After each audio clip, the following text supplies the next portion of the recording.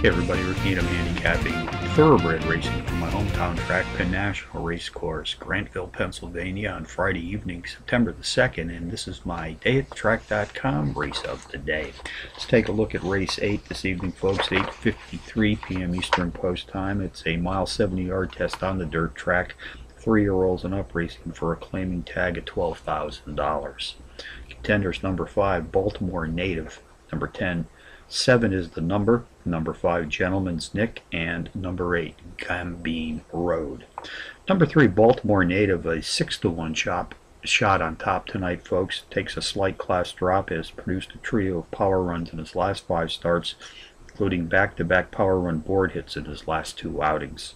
Number 10, 7 is the number, the morning line favorite has produced a quartet of power runs in his last five starts, the overall speed leader in this field, racing at or about tonight's distance of 8.3 furlongs on the dirt.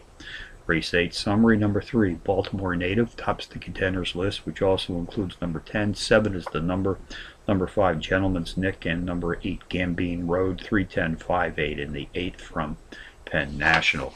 Bonus long shots, Mountaineer Park, Chester, West Virginia, race 6. The 6 to 1 shot, number 9, Elios, better speed, racing at a mile 70 yards in the dirt than the favorite, number 8, Wild and Wacky Guy.